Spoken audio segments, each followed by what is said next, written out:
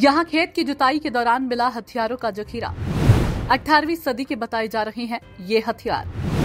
क्या किसी सेना ने छिपाए थे? या किसी डाकू के गिरोह ने? देखें एनआईयू की exclusive video report. Uttar Pradesh में एक गाँव में तब अचानक से हड़कंप मच गया, जब एक खेत में जुताई के दौरान किसानों को हथियारों का जखीरा हासिल हुआ। हथियारों की तादाद और उनकी नक्काशी देखकर ग्रामीण तो हैरान हुए ही। पुलिस प्रशासन के भी होश उड़ गए, क्योंकि ये समस्त हथियार कोई पंद्रह बीस साल पुरानी नहीं, बल्कि अठारहवीं सदी के निकले। किसान जब खेत में जुताई कर रहा था, तभी अचानक ज़मीन के अंदर हल्के नसुड़े किसी लोहे नुमा वस्तु से टकराए और भारी आवाज़ हुई। किसान ने जब खुदाई और जाँच की तो वह हक्का बक्का रह गया। इन प्राचीन हथियारों में तलवार खंजर बर्छी और उस जमाने की बंदूकें तक शामिल हैं।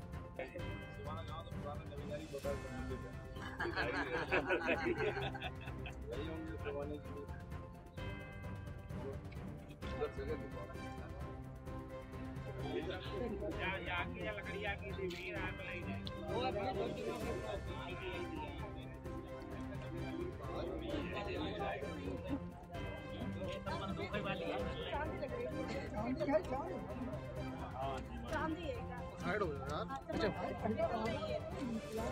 अच्छा।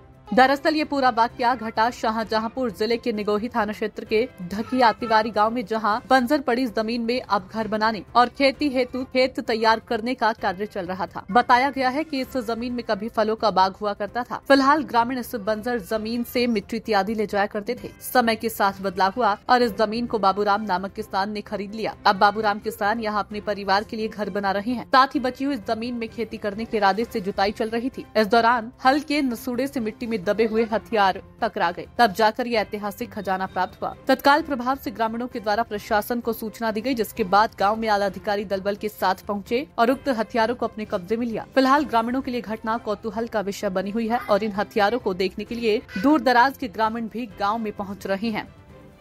Bureau report, news India update, Uttar Pradesh. आप देख रहे हैं N I U news India update.